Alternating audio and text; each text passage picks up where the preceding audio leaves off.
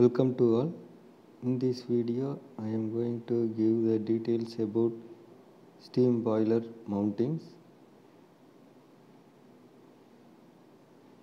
The blow of cock, which means to drain out water from the boiler for internal cleaning, inspection, or other purpose.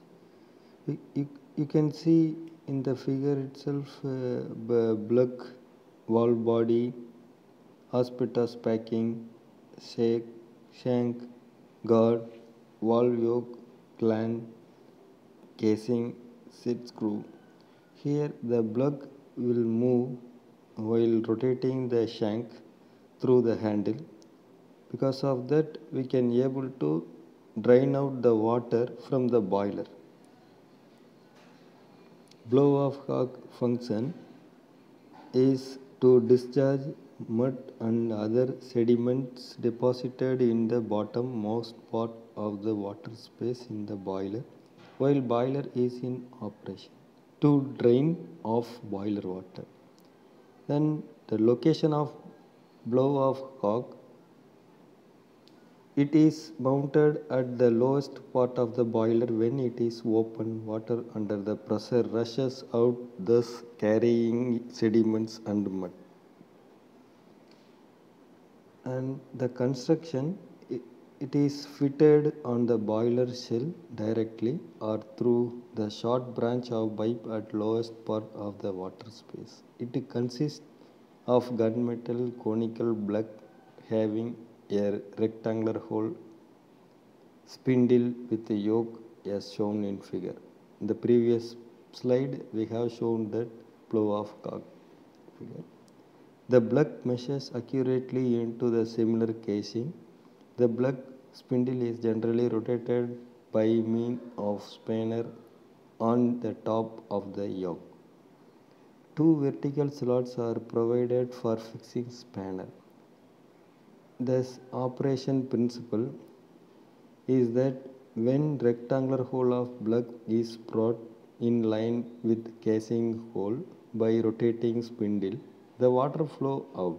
When the solid portion of the block is in front of casing hole, the water cannot flow out of boiler, mud and manholes. To allow men to enter into the boiler for inspection and repair uh, like that the maintenance work it will allow. Boiler accessories. In the boiler's accessory schematic diagram shown in the figure here the uh, from the boiler the gases is flowing to the superheater and as is uh, coming out from the boiler to uh, outside. And then uh, generated steam is entered into the superheater. Again the steam is uh, superheated and sent to engine. Uh, and some more part also uh, supplied into that economizer the air preheater finally that uh, gases flue gases will flow uh, out through the chimney. In that way the boiler accessories uh, of the boiler plant is working. Economizer the purpose of economizer is to heat the feed water by direct use of the heat of flue gas discharged to the atmosphere through chimney. The economizer reduces the temperature of flue gas. The feed water temperature is increased substantially. Thus the is a saving in heat. The boiler efficiency is increased um, substantially. The economizer is placed in the path of the exit gas nearer to the boiler. And this advantages is about 15 to 20 percentage of coal saving. It increases the steam rising capacity of the boiler. It's prevent formation of scale in boiler water tube because the scale now formed in the economizer tube which can be cleaned easily. Can see clearly in that economizer diagram in the zigzag line showing that uh, economizer tube.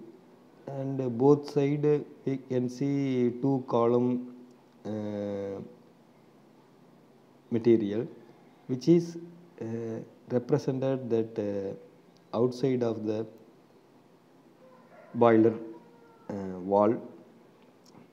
Here the outlet header is receiving the water or steam uh, from the inlet header uh, in, in between the water is flowing through the economizer coil.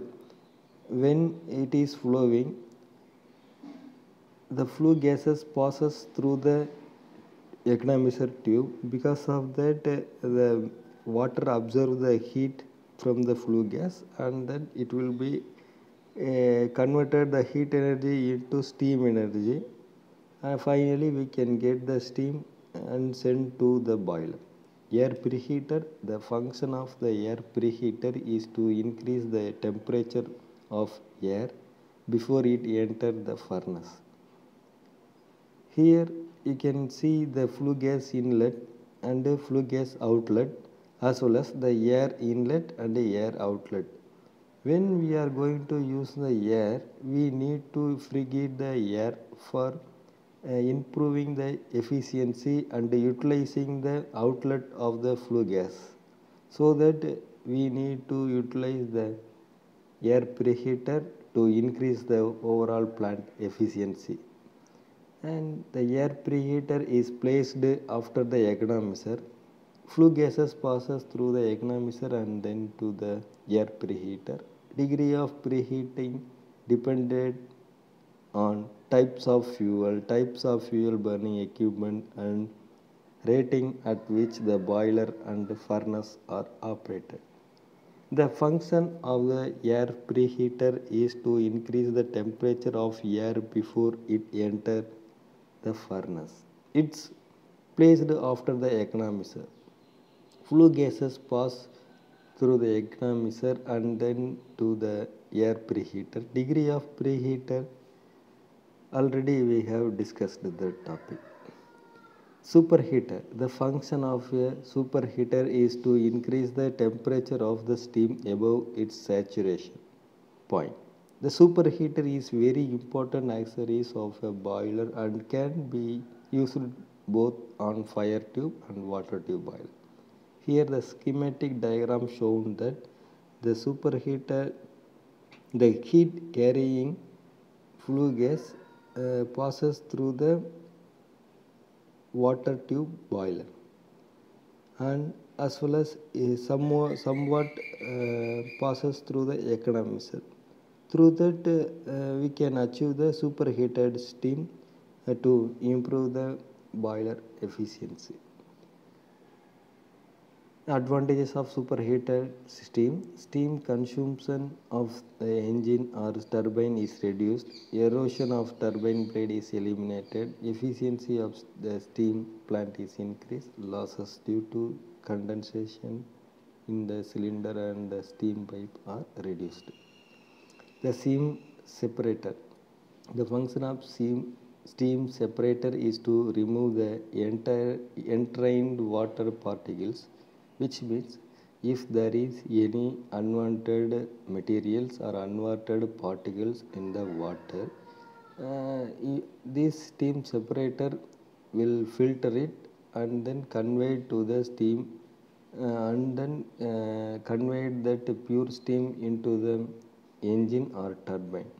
It is installed as close to the steam engine as possible on the main steam pipe from the boiler. Here the figure shown that wet steam entered at left hand side and dry steam leave at right hand side. The dim, demister pad will store that uh, uh, filtering element uh, wet steam also getting out from the uh, demister, demister pad and finally the water droplet falling and collecting at the bottom of the steam separator. condensate to steam dropped. The steam separator is a device which separates water particles from steam. It is used to increase the dryness fraction and quality of steam before it enter into the turbine or engine.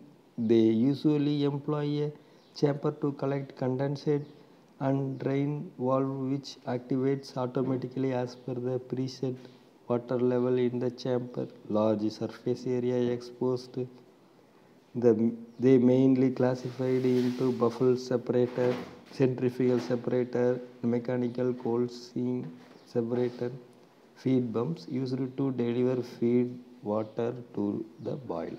It is desirable that the quality of water supplied should be at least equal to that evaporated and supplied to the engine. There are two types of feed pumps are available. Reciprocating pump another one is rotary pump within this i have concluded this topic.